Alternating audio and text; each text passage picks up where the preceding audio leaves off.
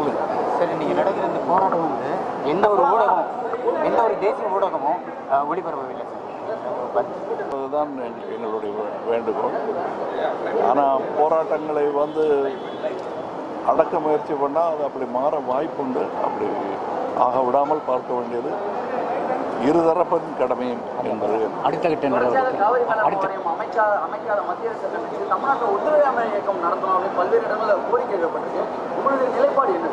நேற்று நான் சொல்ல ஆரம்பித்ததுக்கு பிறகு அது வந்திருக்கலாம் என்று நான் நினைக்கிறேன். ஒருவேளை என்னை போன்று மற்றவர்களும் ஒரே நேரத்தில் அதே எண்ணம் மற்றவர்களுக்கு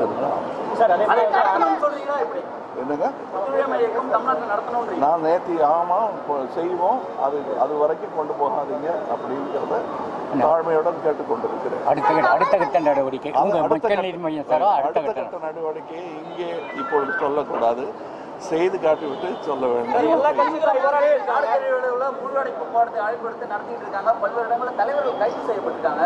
இதை எப்படி பாக்குறீங்க அடக்குமுறையை என்று பார்க்கிறேன். வணக்கம்.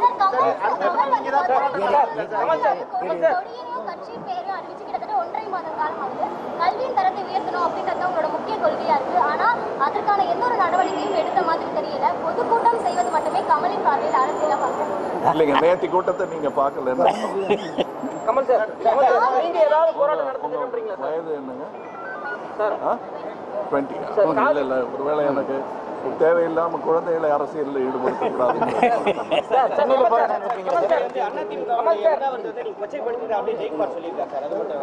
sir Kamal sir sir Kamal sir Kamal sir sir sir Kamal sir Kamal sir தொடர்ந்து இது போல் வீடியோஸ் பார்க்குறதுக்கு கீழே இருக்க சப்ஸ்கிரைப் பட்டனை கிளிக் பண்ணுங்கள்